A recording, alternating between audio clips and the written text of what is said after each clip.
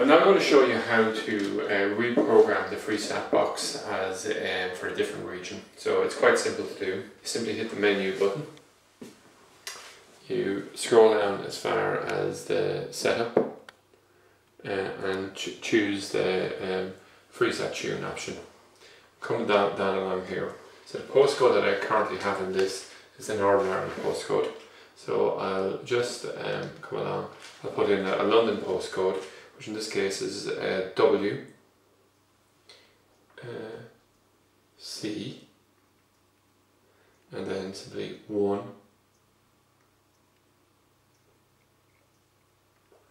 1 and then A uh, A okay? And now I simply press the OK button and uh, performing the FreeSat tune will remove all current FreeSat channels continue and I'll say yes, we're happy to do that. Uh, and then we come along, what we want to do is we simply want to do a, a search.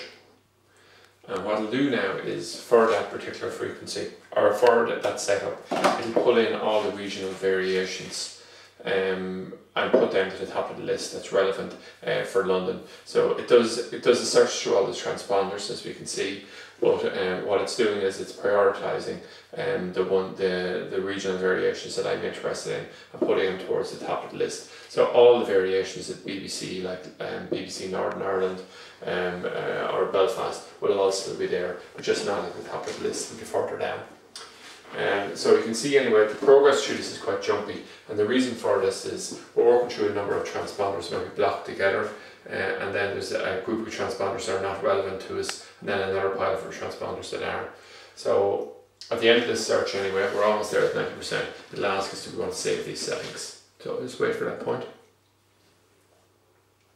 You can see we have both radio and TV, so a total of 118 TV and 38 radio settings here. So we simply come along here and click save. You can see it's very rapid here. Saves all these results off the, off the hard drive. And what we do here now is we simply hit exit. And um, if we hadn't been happy at that point, we could have put in a different postcode and reprogrammed again. So now we can just see at the top of the list here with BBC One, uh, BBC Two. Now any additional channels that we would have added on, like Sky News or something like this, um, which in my opinion is not overly practical to add on to a FreeSat box in any case because it, it causes the lineup to change in an unattractive manner.